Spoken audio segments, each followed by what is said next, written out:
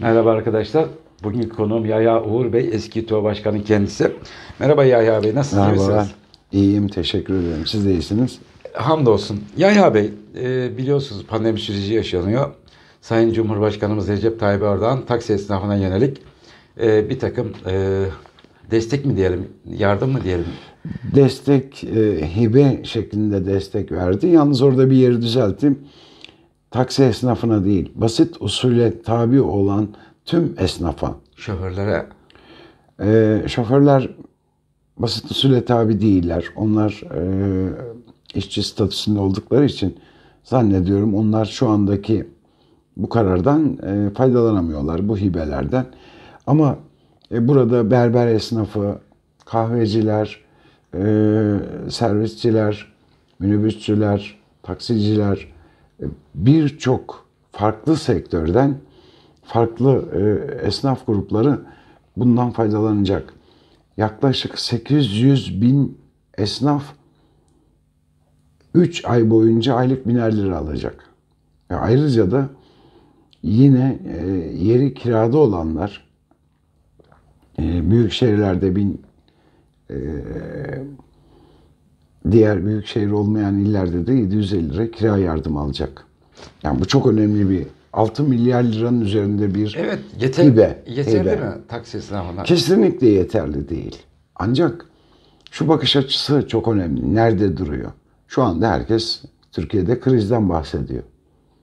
Yoğun, Dünyada, evet. yoğun bir kriz yaşanıyor. Tüm dünyada yoğun bir kriz yaşanıyor. Pandemi dolayısıyla da çok çok daha büyüdü. Ama buna rağmen Cumhurbaşkanımız bu kesimi unutmadı. Çünkü esnaf devletin hani askeri olur, polisi olur, işte memuru olur ama en az bunlar kadar devletin korumasına da, güvenliğine de, asayişine de eee, yeri geldiği zaman eee, işte nerede ihtiyaç varsa devlet adına yapılabilecek e, orada olan bir gruptur esnaf grubu. Ve Cumhurbaşkanımız esnafın arkasında durmaya devam ediyor. Bu çok önemli bir şey. Evet. Ben, bence Peki en önemli anlaşılması gereken konulardan biri. Karınca kararınca ama Peki, belki Yahya Bey nasıl faydalanacak plaka sahipleri burada? e, tüm basit usul mükellefleri bundan faydalanacak. E, onun henüz Nereye net- başvurmaları henüz gerekiyor? netleşmedi. Muhtemelen bir yerlere başvurmaları da inşallah gerekmeyecektir diye düşünüyorum. Şu anda Maliye Bakanlığı ve e, Gümrük Ticaret e, işte Ticaret Bakanlığı bu konuda çalışmalarını yürütüyorlar ve en kısa zamanda sonlandırıp e, veriliş şekillerini belirleyecekler. Bu zannediyorum bir hafta içinde olur. Yahya Bey, en önemli gündem Sayın Ekrem İmamoğlu'nun e, 5000 plaka projesi. Yani e, 250 sarı dolmuş, 750 minibüs dönüşümü. Yani toplam 6000 yeni e, taksi projesi. İstanbul'un taksi yeni taksiye ihtiyacı var mı?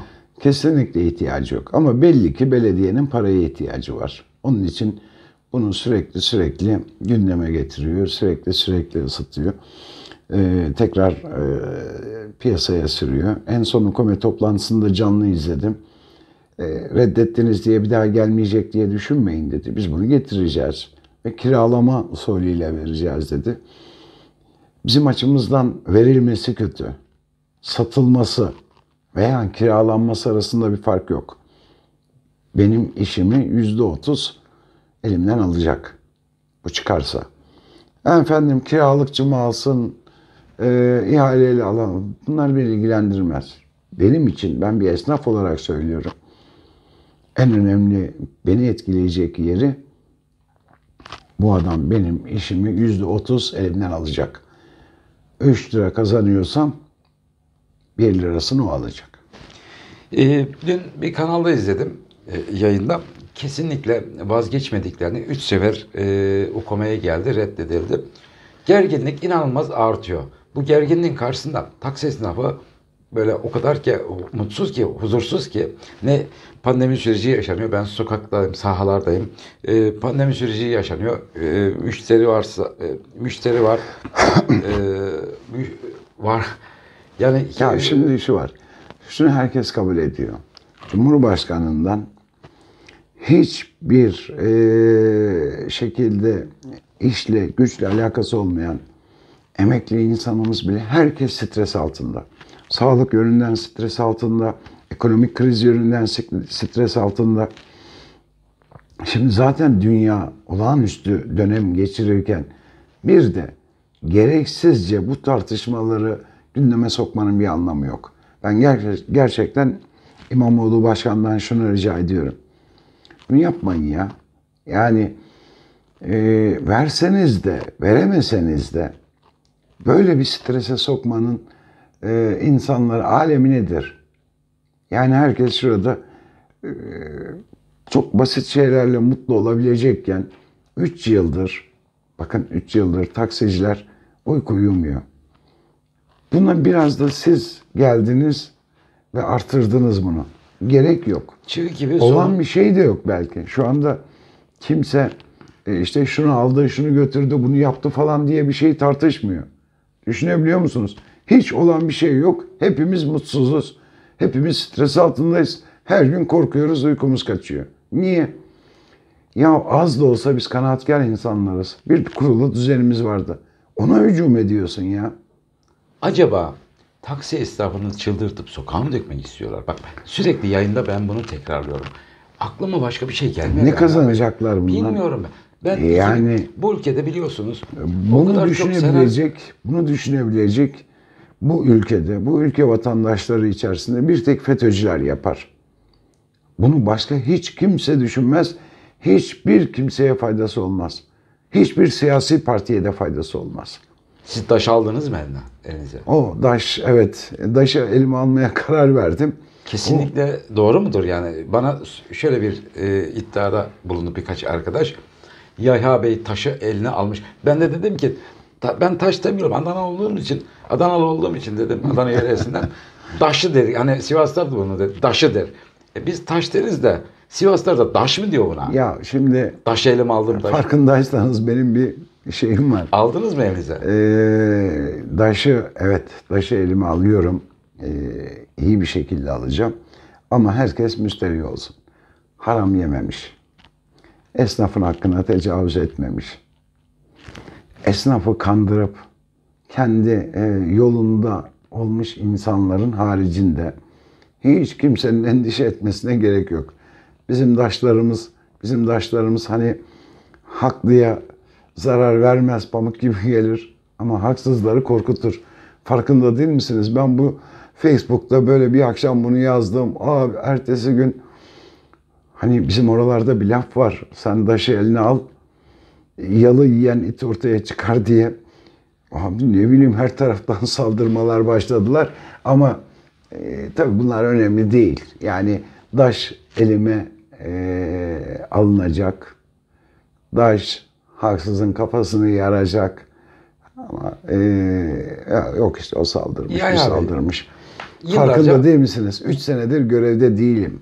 Yıllardır Hiçbir kararda imzam yok. Hiçbir başarıda veya başarısızlıkta imzam yok. Allah'ını seversen niye ben benimle bu kadar uğraşıyorlar? Yahya Bey Ne yani benim eee size e, bir takım bayağı araştırdım. Ben geçmiş dönemde de siz başkanken özellikle bazı konularda işte e, sıkıntılar e, oluyordu taksi esnafının ama bu kadar sıkıntıya düşmüyorlardı taksi esnafı. ya bakın şimdi E, sıkıntı eee, aslında asıl soruya geleceğim. Bir takım iftiralar var biliyorsunuz. E, araştırıyorum. Ah, sizi araştırıyorum sürekli böyle e, bütün e, sisteme sistemin içinde olan insanları araştırıyorum. Yani araştırıyorum derken kötü manada e, algılayabilirler. bence de işiniz bu yani yapmak zorundasınız tabii. Mahkemeye falan verebilirler. Bu arada e, konu e, karakol konusu. E, oraya getireceğim cümleyi ki e, neden karakola gittiniz dün? Valla ben her ay Mutat Karakolu ziyarete gidiyorum. Merak ettim. Ee, Beni neden aramadınız Yahya Bey? E, yok kimseye de aramam. Zaten bunları da çok bunlarla alıştım da zaten. Konu neydi? Yaklaşık 40'a yakın 40'a yakın mahkeme açtılar. E, binlerce şikayet ettiler hakkımda. Ellerinde hiçbir şey yok. Şimdi ben Hiçbir şey de olmayacak. Allah'ın izniyle. E, geçen ay niye Özür gittim? dilerim bunu e, şöyle gülerek şey, Yahya Bey her beraat ettiğinde bana dosyalar atıyor. Ben inceliyorum. Böyle incir çekirdeğini doldurmayacak şeylerden Hayır hayır. Yahya Bey Öyle şikayetler ediyorlar Şimdi ki o- dersiniz hayır, o ki konuyu- ulan hayır, bu avukata da para veriyorlar mı? Neden biliyor musunuz? Bu konuyu e, merak merak ed- edenler izlesin. Bu şimdi mola vereceğiz. Bu birinci bölüm Yahya Bey. Çok teşekkür ediyorum. Sizi Ama yordum. durun o zaman e, şunu söyleyeyim de e, bu iftiralarla aslında alakalı Ya- şöyle bir bölüm yapalım. Her iftirayı e, önce bir kendimiz duyuralım. Bak bu konuda iftira atmışlardı. Bunda herkes şahit. Evet bölüm bölüm işte Sonra bunun iftira olduğunun belgelerini ortaya koyalım. Ama sizden tek bir şey yapıyorum. Bu kısmı bana ait. Sizden tek bir istirhamım var. E, bu iftirayı atanlara gidip Oraya geleceğim e, birazdan. soracaksınız ki Çıksa karşıma. Yani siz bunu- Kaçıyorlar benden. Onlar yani telefon açıyor. ama yani, bakın e, e, o konuya gireceğim. ya, gireceğim. Dedim ki en Yahya korkak çocuklar Yahya bile Bey'in dedim e, Yahya Bey şunu iddia ediyor dedim. Ali Bey e, ben Hodri Meydan yayınıma karşıma kim alırsanız alın ben gocunmam. bak Mustafa Herkes- Dursun'a teşekkür ediyorum. Neden? Ya ne kadar güzel itiraf ediyor her şeyi. Ben orada tarafsız Yani, ben e, e, sadece yayın ben izledim. yok. Yahya Bey Ben isterim ki Mustafa Dursun'un dışında diğer yönetim kurulu üyeleri de gelsin. Aslında inanın bana bu Yahya Bey. onların bakın bu onların görevi. Ya yönetim kuruluna seçildiyseniz siz çıkacaksınız. Türkiye'de şu anda İstanbul'da korsan durak sayısı 900'ü geçmiş. Bu resmi, ukomeli ve İşte- ukomesiz taksi durakçılarının sayısından 150 tane daha fazla. Yahya Bey ben bir soru sorarken bunu şahsım adına sormuyorum. Ama 17 elbette bin, şunu 395 anlatmak bin istiyorum. Bu esnaf benim üye soruyorum. olarak Ama- hakkım değil midir? Evet. Yani bir yönetim kurulu üyesi çıksın beni Ben bilgilendirsin. de herhangi birine bir soru Siz sorarken... ücret falan alıyor musunuz yayına çıkanlardan? Hayır canım ne, ne, ne münasebet. E niye kaçıyorlar o zaman? Ben bir işte onu anlamıyorum. Yani Hayır bir yönetim kurulu üyesi eğer üyesine şu kadarcık bir bilgiyi vermeyecekse ne demeye oturuyor orada? Yani e, olur hani başkan şimdi çok meşguldür, çok yoğundur, çok yoğun işleri vardır, şunları vardır falan. Hadi boş ver bir kenara. Size, Ya size bir yönetim sizi- kurulu üyeleri Sizi çok tebrik ediyorum. Bana şunu demiştiniz. Ali Bey bana hangi soruyu sorarsanız sorun. Ben size her soruyu sordum. Ben gene söylüyorum aynısını. Hatta daha da ileri gidiyorum. Hatta ben sizin e, yayını almadan önce 40 tane benim duyuruda bana muhalefet etse eden 40 tane bana muhalefet eden ve en aşırı en azılı militanlarını ben tek başıma geleceğim 40'ı da karşıma dizilecek sorularını soracak. Terbiyeli sorsunlar da demiyorum ha. Terbiyeli terbiyesiz. Ne sorarlarsa sorsunlar. Terbiyeli sorarlarsa ikinci bölüme Terbiyeli cevap alırlar. Terbiyesiz sorarlarsa İki- terbiyesiz cevap alırlar. Ama Evet. muhakkak bir cevap alırlar. e, ikinci bölüme geçelim Yahya Bey. Peki. E, mola verelim. E, moladan sonra kaldığımız yerden devam edelim. Çok teşekkür ederim Ben Yahya Bey. teşekkür ederim. Birinci bölümün sonuna geldik.